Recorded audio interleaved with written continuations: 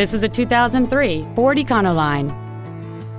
It has a 4.2-liter six-cylinder engine and a four-speed automatic transmission.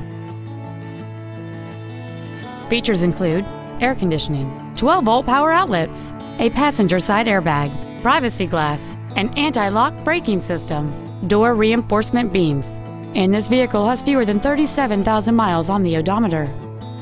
Contact us today to arrange your test drive.